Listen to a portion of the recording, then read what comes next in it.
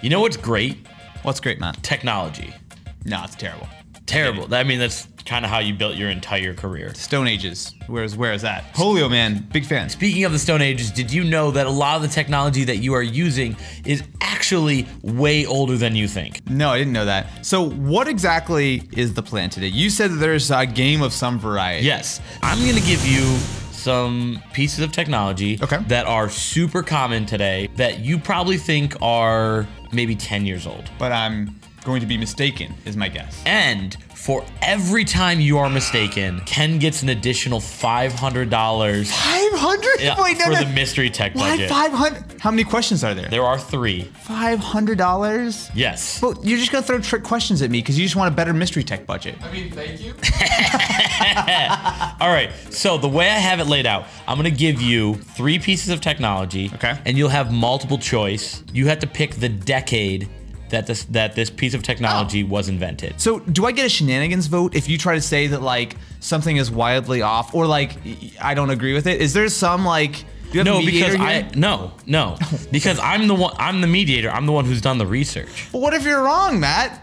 You're just trying to say like, oh, I'm the mediator, I'm If- the boss, I'm the judge, I'm the jury, and I'm the executioner. Yeah, that's pretty much exactly what I'm saying. But I'm the one who has to pay the, for the mystery tech budget. Yeah, that's why it's fun for us and not for you. And so I've, like a good host, set Austin up to fail. All right, so let's play whatever this game is called, starting with question number one. When do you think in-car navigation first was a thing?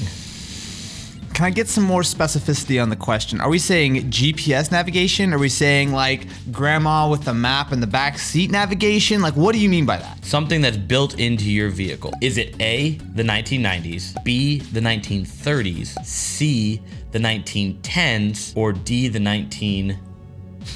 you don't even have it memorized. 60s. Okay, well, I'm gonna guess it's not the 60s since you forgot that one. Or no, maybe it is the 1960s. I'm just trying to play mind I could. games I right just now. couldn't remember which one I actually already said. Oh, okay. I'm gonna say the 10s are probably out because basically no one had cars back then. My inclination is to say the 1960s because that was an era in which there's a lot of really weird like mechanical stuff, like all kinds of things in cars where like we had a lot of the modern conveniences. Sure. But it was done in a very like old school way of like ratchets and clanks and and I actually don't know what I'm talking about, but there, there's a lot of weird stuff there. However, I think that you're about to pull out something really weird. I'm gonna guess the 1930s. Final answer. Final answer was 1930s. Yeah. You are actually correct. Yes. I am really upset by this. Now, to Okay. be fair, this is the one I thought you might get because you're a car guy. Okay, So these but- numbers were not just random numbers I threw at a dartboard. In 1910, they did actually have an integrated system. The Baldwin Auto Guide, which was based off of Kodak film, What? and it attached to the steering column, and it was a map inside with directions to different things. Whoa. So, like, you know, you turned left, you had to turn the directions then. So, the 1930s was from an Italian company. Oh, that looks real. It is real.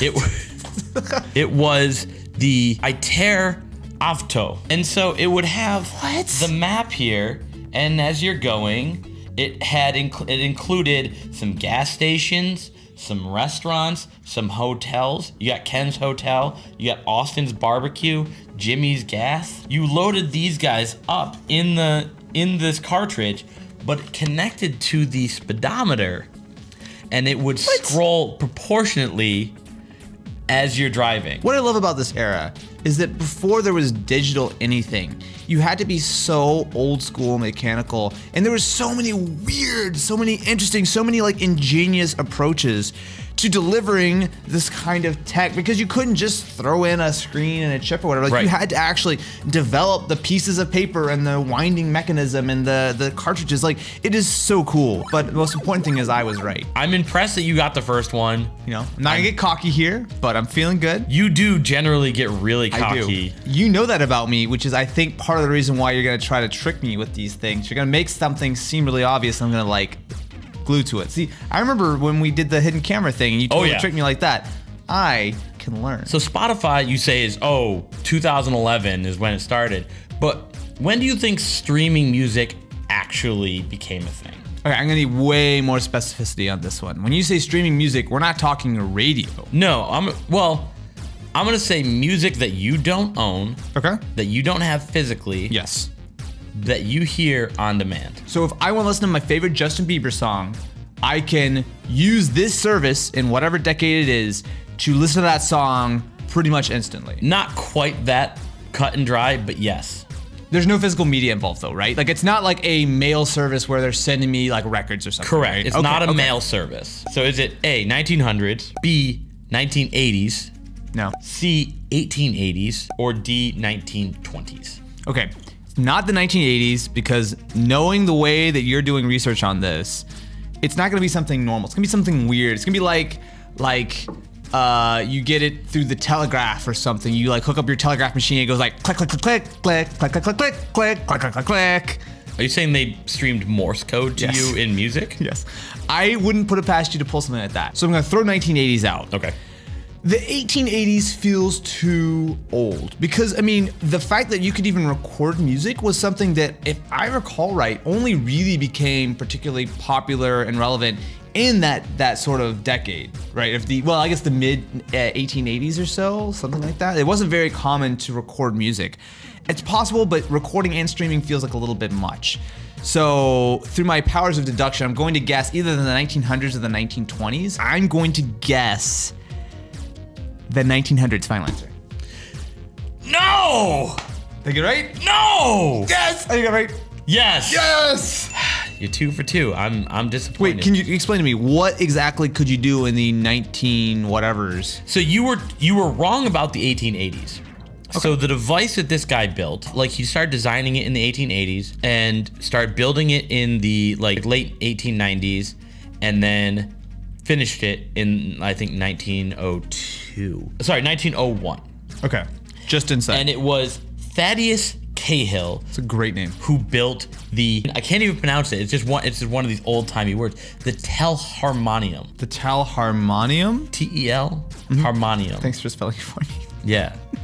What So- exactly did this thing do? So the telharmonium was an organ that converted the music into electrical signals, and then those electrical signals were draw, you know, go through wires and everything mm-hmm. into a paper cone. So the the one of the first loudspeakers, and then that loudspeaker basically was playing into a telephone and that was being broadcasted technically, even though it's all just one big telephone system, to restaurants and hotels and even homes around Manhattan. The organ itself was in like the main area of a concert hall, and then the actual device itself, and there's the Oh, organ right there. wow, And it okay. was, so it was a 150 key organ. Now you could actually call in and request songs to be played. The reason this didn't take off Oh, okay. Go ahead. Again, this is super groundbreaking.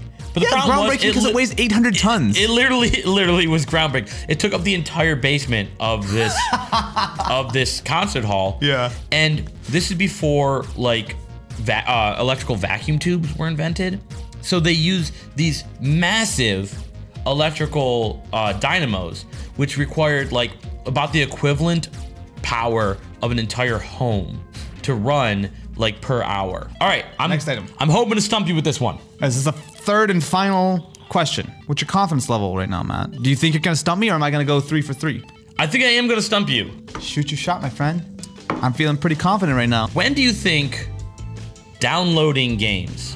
Oh, Matthew Ansini. This is a, this is a topic I know a thing or two about. Go ahead. When do you think downloading games was first invented? Was it A, 1960s, 1970s, 1980s, or the 1990s? Okay. So I know that both the Genesis as well as I believe the Super Nintendo had a modem component where you actually, specifically in Japan, you could download games to them. And I believe that was either late 80s or early 90s. But I'm assuming we're talking older than that. I'm I- throwing out 1990s for sure. And I'm still gonna throw out 1960s. You might throw me a curveball with like some weird, like old military program that they downloaded or something. I don't think so. War Games. It's a great movie. I feel pretty confident that there was some weird thing in the 80s that you could stream games from. I'm gonna say the 1970s. Ah, oh, You're wrong! Yes. When was it? You were you talked yourself out of it. It was in the 1980s. Really? Ah! But wait, but I thought that like the 1981, the Mattel Intellivision. it was Intellivision. It was 81? 81, I thought that Intellivision was like 79. maybe in development. No, man, it was so close. It was the one I should have known. Wait, so it was yeah, it was some uh, attachment for the Intellivision, It right? was the play cable, and it wasn't a modem. It was a cartridge that you rented from Mattel. It was twelve dollars a month, so half the cost of a regular game. Yeah. And it plugged in via coax cable, Oh, okay. not a modem. Yeah, yeah. And you could, in theory, download any of their games to the cartridge. Now, it was a super cool concept because you had access to their major titles like Frogger and Pitfall, and I can't believe those are, you know, I'm saying those are A-list titles. It was significantly cheaper, and basically you just rewrote over the cartridge every time you download the Yeah. game. They even got like Mickey Mantle to come on and do a commer- like a whole series of commercials. The. Intellivision was big. yeah, it was it was huge. This is a really well thought out game. I'm still happy with two out of three, especially considering that two out of three were definitely guesses, and only one of them I felt confident in, and I was wrong about that one. So congratulations. So what I figured out for next time is I need to make these way harder. No, no, no, no, no. Pinpoint the year. No, how dare decade. you? How dare you? So I'm never gonna get the. It's just gonna be a one out of four chance because I'm just gonna guess. The decade is the way we should do this. okay. So if you have a challenge you think I should issue, Austin, let me know in the comments. And I'm gonna say well done. Thank you. And I'm looking forward to this extra $500 from Mystery Tech.